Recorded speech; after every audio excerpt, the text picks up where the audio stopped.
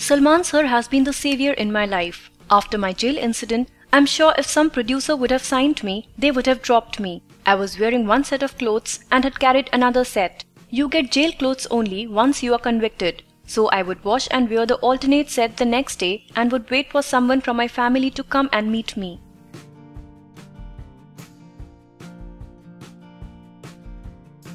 Due to all the media attention, for about 15 days no one came.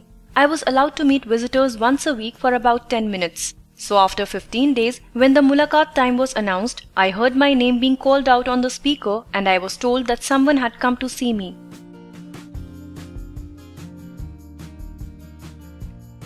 It was my sister Sana. I was really happy to see her there and was not crying though she was in very bad shape. In those 10 minutes that she was allowed to be with me, she told me she was carrying a message from Salman sir. He had asked her to tell me he would be waiting outside for me and that he had got the script of Hero for me.